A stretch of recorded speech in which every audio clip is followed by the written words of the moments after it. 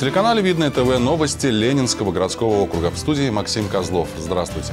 И в начале выпуска коротко об основных событиях.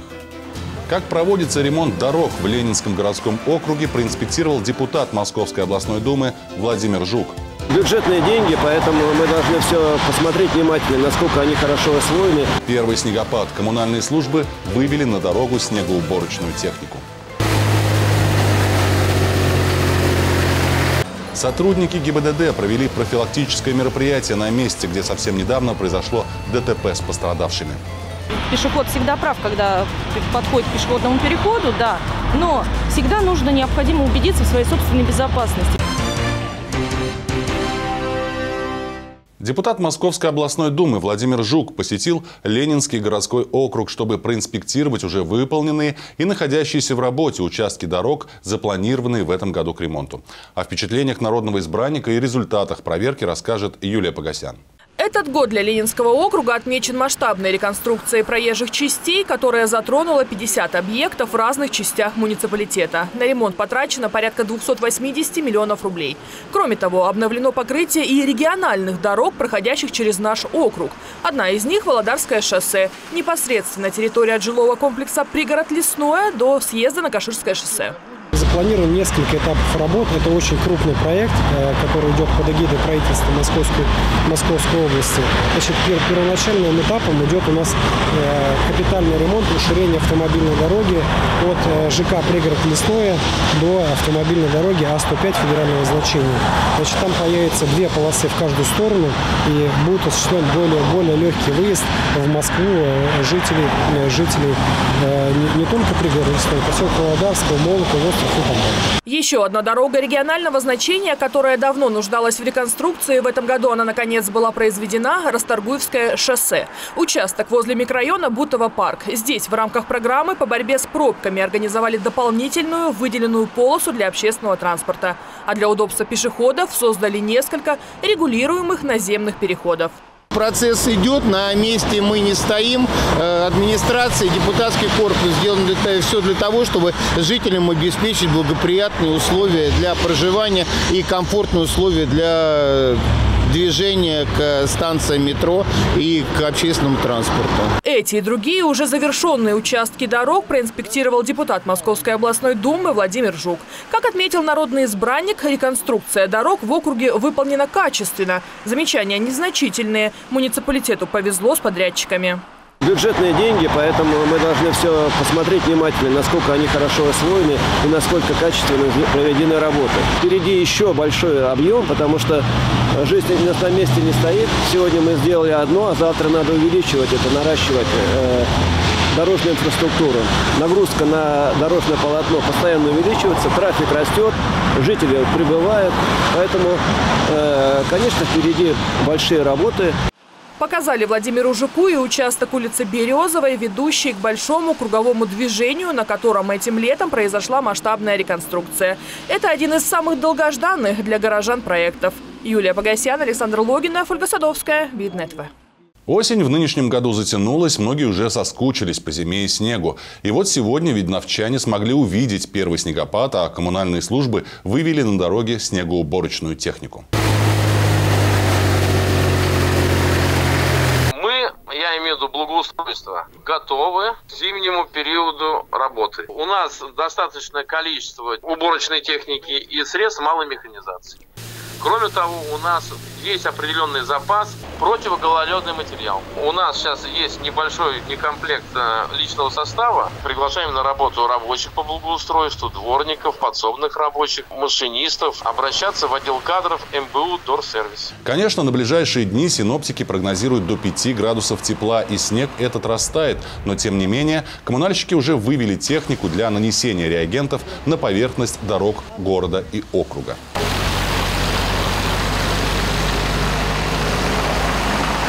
Заготовлена пескосоляная смесь, реагенты закуплены, чистая соль. То есть пескосоляная смесь, мы ей обрабатываем асфальтовое покрытие автомобильных дорог муниципального значения.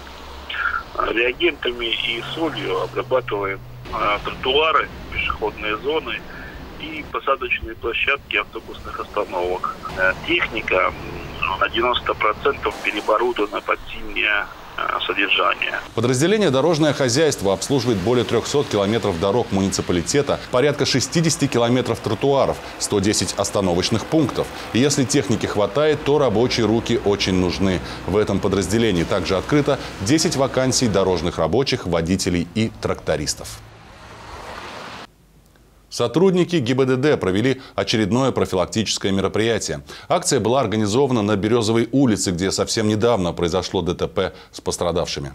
Авария произошла на нерегулируемом пешеходном переходе около дома номер 9 по Березовой улице. Водитель при повороте сбил троих человек, переходивших проезжую часть. В результате ДТП женщина и двое несовершеннолетних детей были госпитализированы с травмами различной степени тяжести. После дорожно-транспортного происшествия сотрудники госавтоинспекции организовали профилактический рейд на опасном участке.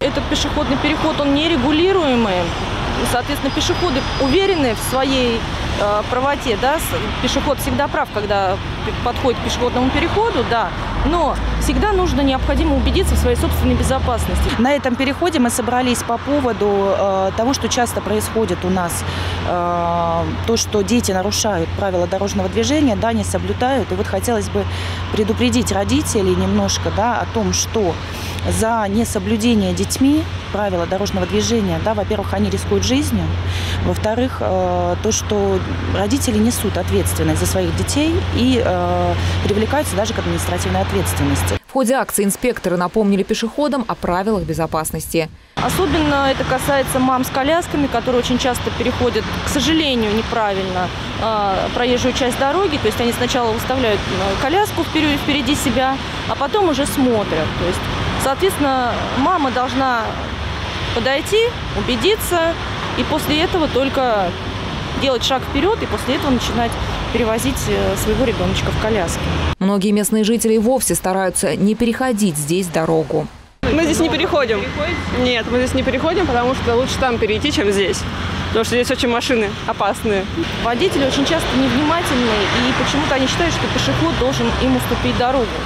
То есть, ну, мы понимаем, да, что транспортное средство машина, оно довольно-таки тяжелое, и, к сожалению, водитель должен уступить пешеходу на пешеходном переходе. Приятным сюрпризом, особенно для юных участников дорожного движения, стала зебра, которая помогала переходить проезжую часть. Также ребятам были вручены световозвращающие элементы. Держи скорее, на курточку мама тебе приклеит, ладно? Будешь ярким, заметным и красивым. Это очень хорошая акция, то, что детей учат правильному ну, ведению себя на дороге. Ну и родители, чтобы всегда держали ухо востро и ну, детей не отпускали в свободное плавание, так скажем, на дороге. Сотрудники ГИБДД еще раз напоминают, что зебра – это не стопроцентная безопасность. На нерегулируемом пешеходном переходе надо быть особенно внимательными. До выхода на проезжую часть оценить расстояние и скорость приближающегося транспорта и только потом переходить дорогу. Наталья Буслаева, Кирилл Иванов, Ольга Садовская. Видное ТВ. 11 ноября свой профессиональный праздник отмечают офтальмологи, люди, знающие о глазах все.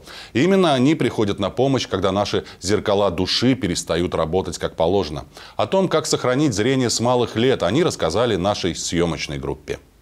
До 90% информации об окружающем мире мы получаем именно благодаря зрению. Глаза помогают нам познавать мир, общаться, ориентироваться в пространстве и просто полноценно жить. Поэтому, когда острота зрения портится, это повод немедленно обратиться к офтальмологу. В особой опасности – дети.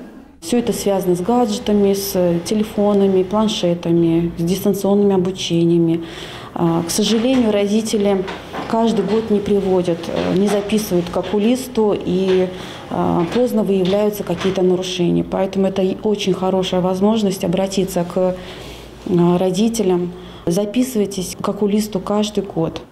Врачи утверждают, каждый второй ребенок сейчас имеет проблемы со зрением. Чем раньше это заметят взрослые, тем больше процент зрения удастся сохранить. Представьте, что вы идете на фитнес и качаете одну и ту же мышцу. Что с ней становится? Потом несколько дней она в тонусе. То же самое с глазами. Ребенок начинает на близком расстоянии, постоянно, долго, на протяжении долгого времени качать мышцы глаза. И происходит спазм, как вы сказали, вот знаете, да, спазм аккомодации, спазм мышц. Спазм аккомодации. Врачи говорят, если вовремя не принять меры, приведет к близорукости.